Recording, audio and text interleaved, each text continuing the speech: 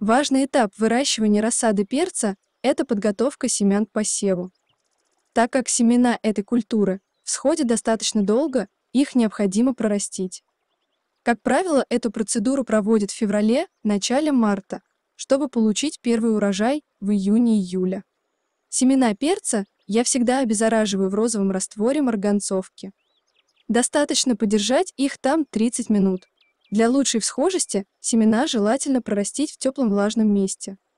Для этого я смачиваю ватный диск в теплой воде, кладу на него семена, складываю в пластиковый контейнер, накрываю крышкой и ставлю рядом с батареей.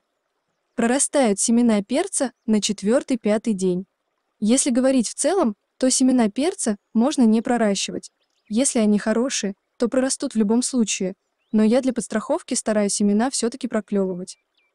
Сеять проклюнутые семена я буду вермикулит, который отлично удерживает влагу, поэтому идеально подходит для проращивания любых семян. Насыпьте на дно лотка немного вермикулита. Полностью наполнять контейнер не нужно, для проращивания семян будет достаточно слоя высотой до 2 см. Увлажните вермикулит. Постарайтесь сделать это более-менее равномерно, чтобы влага распределилась по всему лотку. Лишней воды в емкости быть не должно. Слой вермикулита просто должен стать достаточно влажным, но не мокрым.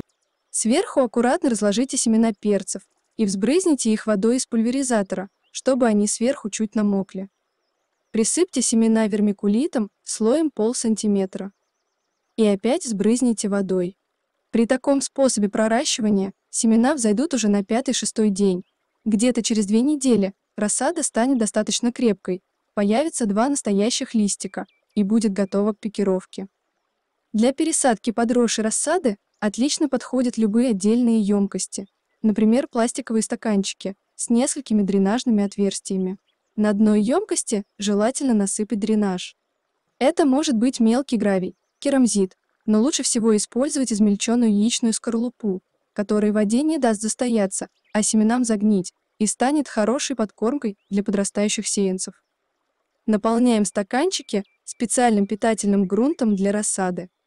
В центре стаканчика делаем отверстие, опускаем сеянец в луночку и слегка обжимаем грунтом и поливаем. Распекированные сеянцы рекомендуется на несколько дней убрать подальше от яркого света, чтобы дать им адаптироваться. Последующий уход несложный, редкий обильный полив, досвечивание при необходимости, подкормки полным минеральным удобрением и закаливание перед высадкой на постоянное место. Всем крепкой рассады!